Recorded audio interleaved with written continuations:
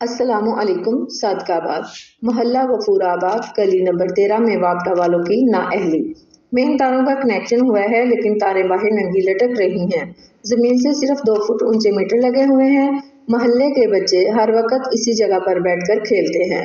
अहलियान इलाका का मुतालबा, इससे पहले कि कोई बड़ा सान्या रनुमा हो, इन मीटरों को ऊँचा किया जाए, ताकि कोई जानी नुकसान ना हो।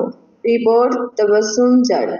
Raj News Rahimia Khan.